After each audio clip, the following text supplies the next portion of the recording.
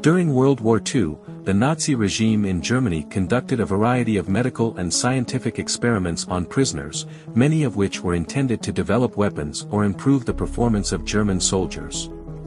Some of the most notable examples include 1. High-altitude experiments, in which prisoners were sealed in low-pressure chambers to simulate high-altitude conditions, in an attempt to develop a pressure suit for pilots.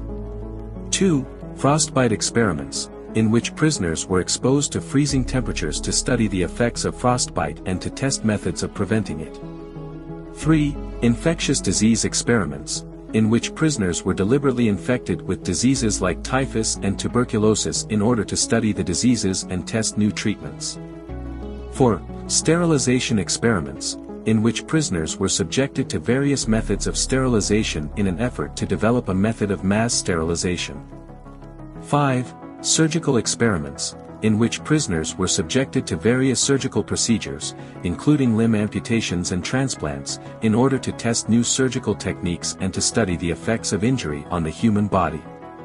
It's important to note that the experiments were performed without the consent of the prisoners and under inhumane conditions and most of the prisoners were killed or died as a result of the experiments.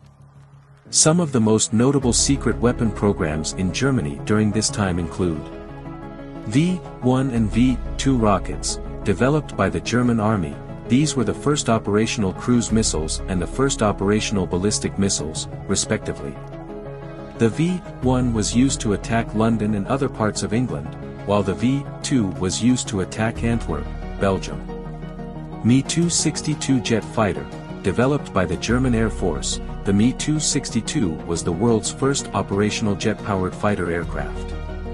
It was faster and more maneuverable than any other aircraft in the sky at the time, but it was not used in large numbers and came too late in the war to have a significant impact on the outcome. U-boat, the German Navy developed an advanced submarine, the U-boat, which was used to attack Allied ships and submarines. They were successful in sinking many ships, but not enough to change the outcome of the war. The Horten Ho 229, this was a prototype jet-powered flying wing, designed to be a high-speed, high-altitude bomber. It was built by the Horten brothers. The design was promising but it was never operational during the war. The Fieseler Fi-103R The Fi-103R was a manned version of the V-1 flying bomb, which was intended to be used in suicide attacks against Allied ships. The aircraft were built but never used in combat. The Arado AR-234, this was a German jet-powered bomber, which was the world's first operational jet-powered bomber aircraft. It was not used extensively during the war. In general, these secret weapons were not able to change the tide of the war for Germany. Many of these weapons were not completed or used in large numbers until the later stages of the war, and by then, the tide had already turned against Germany. Additionally, the resources and production capabilities were heavily damaged by the bombing campaigns, which hindered the production and deployment of these weapons. It is impossible to say for certain what would have happened if Germany had developed a super-secret weapon during World War II, as the outcome would have likely been dependent on a variety of factors, such as the nature of the weapon, when it was developed, and how it was used in battle. If the weapon was developed early in the war and was able to give the German military a significant advantage, it could have potentially led to a different outcome in the war.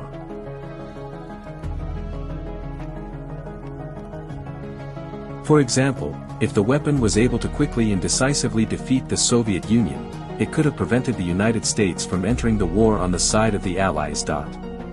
On the other hand, if the weapon was not developed until later in the war, it may have had little impact on the outcome. Additionally, if the weapon required significant resources to develop and maintain, it could have weakened the German war effort by diverting resources away from other crucial areas. It's also important to consider the moral and ethical implications of creating a super-secret weapon, such as the use of chemical, biological or nuclear weapons, which could cause mass destruction and loss of life on an unprecedented scale and could have led to even greater devastation and suffering than the war itself. The United States and the United Kingdom developed and used advanced technologies such as radar and sonar, which greatly improved their naval and air capabilities.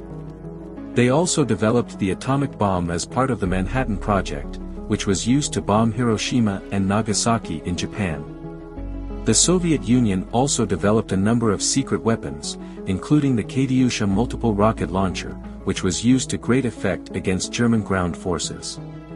The Soviets also had the Il-2 Shturmovik, an heavily armored ground attack aircraft which proved to be a formidable weapon. Japan also conducted secret weapon experiments, such as developing the world's first guided missile, the Oka rocket-powered kamikaze aircraft, which was used in the final stages of the war. It's important to note that each country had different levels of success and impact in their secret weapon development and usage during WW2. Thank you for watching our video on the history. We hope that you found it informative and thought-provoking. If you enjoyed this video, please be sure to like it and subscribe to our channel for more historical content. Your support helps us to continue to create videos like this one. Thank you again for watching, and we'll see you in our next video.